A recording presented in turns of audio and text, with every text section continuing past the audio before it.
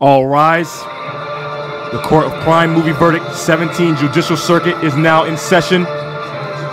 Will the defendant please stand? The Honorable Black Madara is presiding.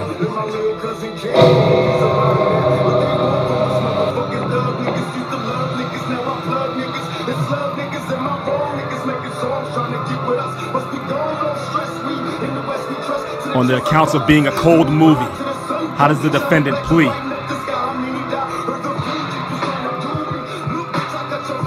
Has your honor reached the verdict?